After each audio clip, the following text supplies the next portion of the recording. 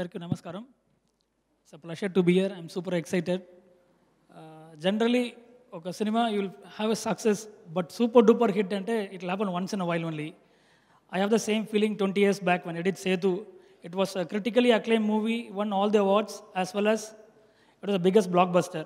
Rangastalam also same thing. And uh, my first thanks to the producers, my three producers, my best friend Suku, Ram Charan, and everybody. uh, everybody put so much of hard work into this movie. I miss Devi here because uh, Suku, myself, and Devi, when we joined, we tried to give something different. But this time, it's not really different. Successful, very successful. So I feel really happy. I missed out. I must have missed out somebody. I'm really sorry. Thank you so much. It was really pleasure, wonderful journey, Suku. I think uh, I have succeeded in bringing your dreams out, Suku. Thank you. And uh, one more thing. Uh, congrats to my one tech hero. Uh, Saran Gurunchi Matlarante. Uh, second day when I saw him, when I was shooting him, immediately his first take will be the magical take. However you go for five takes, six takes, it won't have that thing. First take will be magical.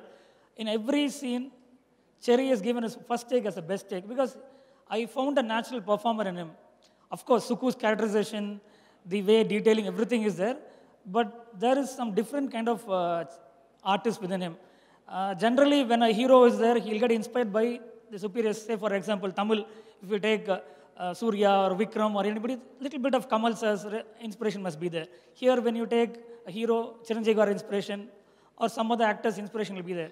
But Charan is a natural performer. He doesn't have any inspiration. He's a brilliant artist.